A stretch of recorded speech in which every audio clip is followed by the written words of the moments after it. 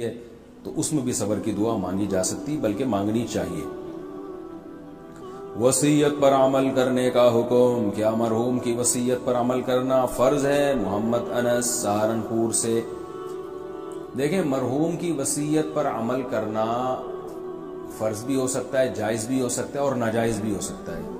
तो वही देखा जाएगा वसीयत किस किस्म की की है। अगर मरहूम ने यह वसीयत की है, जो शरीयत के लिहाज से नाजायज है। जैसे मरहूम ने कहा कि मेरे मरने के बाद इतने पैसे मेरे फला बेटे को दे देना।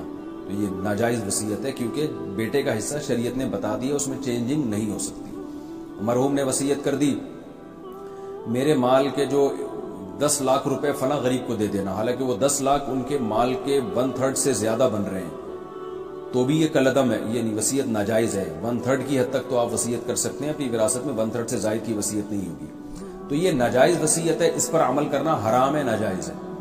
वसीयत की एक किस्म ये होती है जो मुबाह के दर्जे में होती है।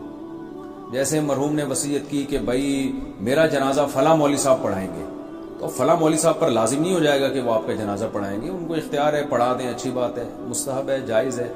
नहीं पढ़ाएँ तो भी ठीक है, क्योंकि आपकी वजह से, आपके किसी हुक्म की वजह से किसी और पर उस ऑर्डर का मानना वाजिब नहीं होता। क्योंकि वो आज़ाद है, भाई वो पढ़ाए ना पढ़ाए, वो अपनी मसरूफियत देखेगा।